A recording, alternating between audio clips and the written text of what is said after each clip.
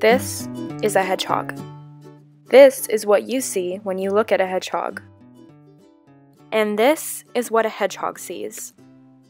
There's a reason hedgehogs are so shy, and it's because they can't see what's going on. They have a hard time figuring out what is two inches in front of them, let alone what is around them entirely. For example, a pine cone to a hedgehog might look like another hedgehog, or it might look like something scary.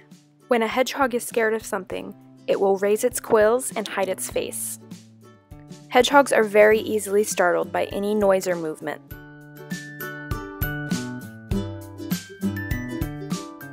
There are three main personality types to a hedgehog. There's the curious hedgehog that likes to explore everywhere, the observant hedgehog that likes to sit back and look around, and then there's the timid hedgehog who's scared of its own shadow. Since hedgehogs are nocturnal, hedgehogs like to burrow during the day, which means they are constantly searching for a dark place to hide and sleep.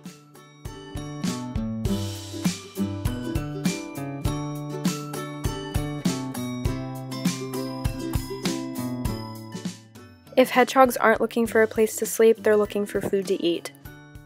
They're constantly tasting things, smelling things, looking around, trying to figure out where their next meal is. Hedgehogs are insectivores, a very important part of their diet is insects.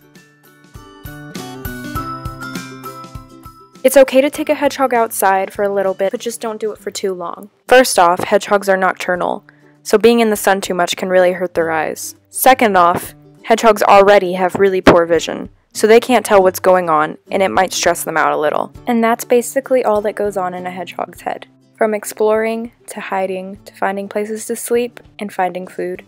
Hedgehogs obviously have a very hard life.